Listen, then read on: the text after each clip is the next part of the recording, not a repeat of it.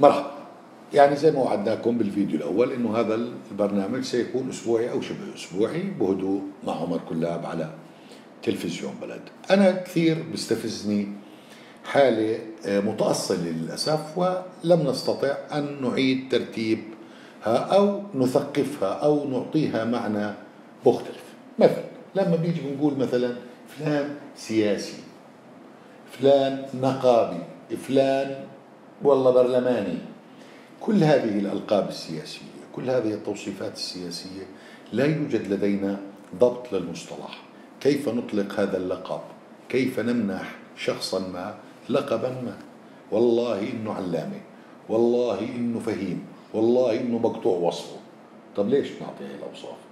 هل لدينا طبقة سياسية في الأردن؟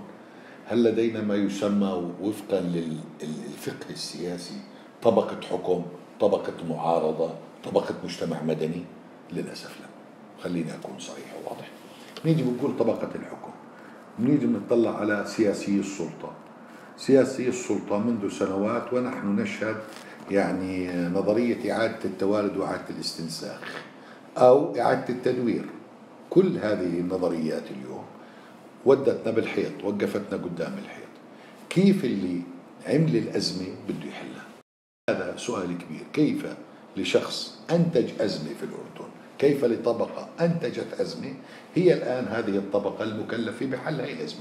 إن كانت الأزمة الاقتصادية إن كانت الأزمة السياسية إن كانت الأزمة الاجتماعية اللي أنا بشوفها اليوم أكثر الأزمات خطورة وأكثر الأزمات يعني ضرب في تقاليد الدولة وبنية الدولة.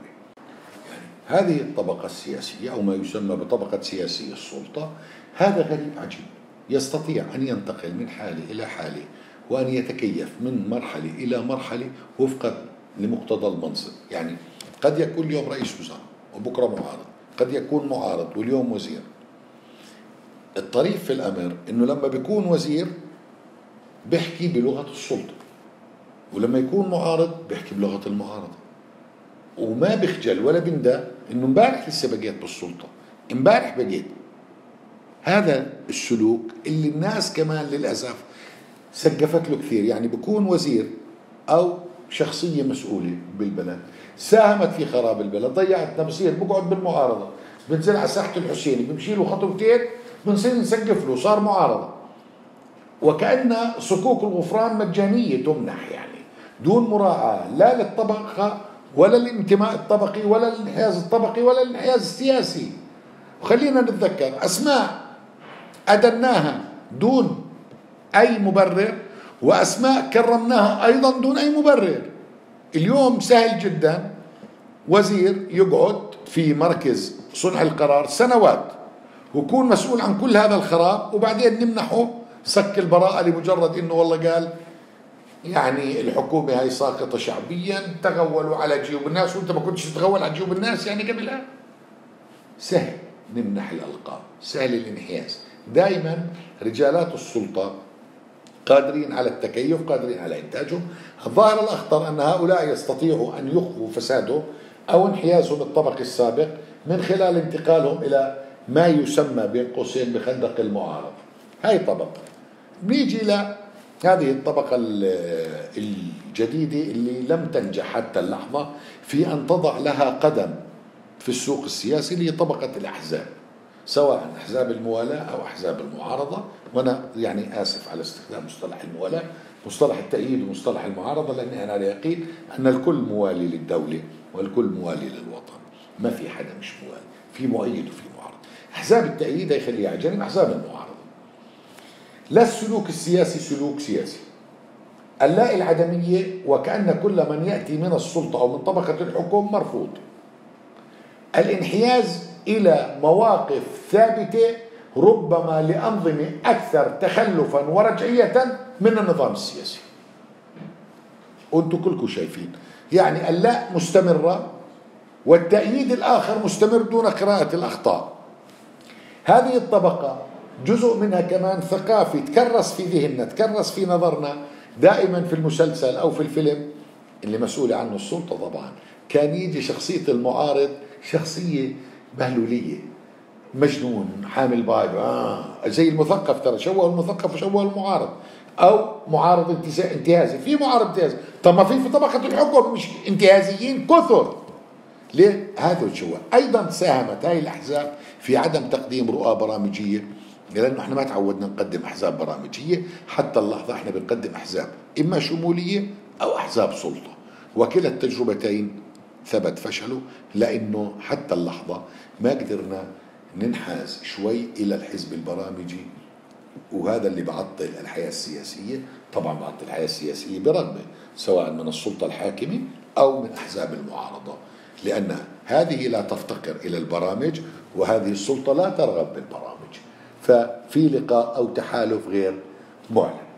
القوى الثالثة اللي بنحكي عنها في طبقة الحكم اللي قوى المجتمع المدني لما بنحكي عن النقابات المالية لما بنحكي عن مؤسسات المجتمع المدني للأسف قوى المجتمع المدني في الأردن كانت ظل لإحدى وجهي طبقتي الحكم. يعني يا في مجتمع مدني معارض برضه صار ينذخ معارضة بأخذ مصاري من برا وباخذ تمويل أجنبي وباخذ تمويل داخلي وبدخ من برا. بروح مع السلطة. أول ما تغمز له السلطة بركض يعني شفنا مجلس امناء حقوق الإنسان. الله يحميهم. بيطلعوا بالظاهر. طب أنت بتطلع بالظاهر أنا وين أروح؟ مش هذا السؤال؟ أنت بتطلع بالظاهر. أنا وين؟ أنا بالظاهر عشان أوصل لك رسالتي. أنت بتتظاهر ليش؟ ما انت جزء من الطبقة. هذه القوى للأسف لم تنجح حتى اللحظة في تأسيس يعني وزن نوعي أو قوى ضغط. وشفنا لما حركت عصاتها رمضان الماضي آه، مش هذا 2018 آه، الجماهير ترى ساندتها ولكنهم في رمضان 2019 ما حركوا شيء. هذه قوى المجتمع المدني لم تنجح حتى اللحظة في تشكيل الانطباع الإيجابي بأنها قوى ضغط زي ما نقول جماعة الشغل اللي بتونس زي الإخوة ونسب بولندا واتحاد نقابات العمال. إحنا عندنا اتحاد نقابات العمال الله يحميه ملوش شغل هي النقابات المهنية واللي جزء منها أو جزء من قياداتها بصف الأول. إما منتمي إلى أحزاب المعارضة وإما منتمي إلى فكرة المجتمع المدني من أجل حمله إلى أن يكون جزءا من السلطة أو طرفا في السلطة. ليس واجب عشان تكون مجتمع مدني أنت لا تطمح إلى السلطة ولا الوصول إليها. اللي بده يشتغل سلطة اللي بده يكون بالسلطة. يا بده يروح على الأحزاب يا بده يتحالف مع السلطة بأدوات باتت معروفة. هاي طبقة الحكم اللي بدنا نحاول نحكي عنها ونحللها في حلقة قادمة وقادمة وقادمة. بس أنا حبيت أعطيك مؤشرات سريعة وصولا إلى مرحلة ما يسمى بتأسيس يعني آه، خطاب سياسي أو تأسيس ما يسمى بتعريف سياسي. عشان لما نحكي عن مجتمع مدني نقول إنه تكون مجتمع مدني أنت لا تسعى إلى الوصول إلى السلطة. بدك تسعى للوصول للسلطة بدك تروح على الأحزاب سواء المؤيدة أو المعارضة أو بتروح لعلاقات طبقة السلطة السياسية اللي زي ما حكى الله يطول بعمره بعرفش إذا أو الله يرحمه إذا مات طاهر حكمت لما قال بالأردن في علاقتين علاقة المطبخ وعلاقة التخت. مين بناسب أختك ماخذ مين؟ ماخذ أخت مين؟ بتصير بتطبخ لمين؟ بتنفخ لمين؟ بتصير. ألقى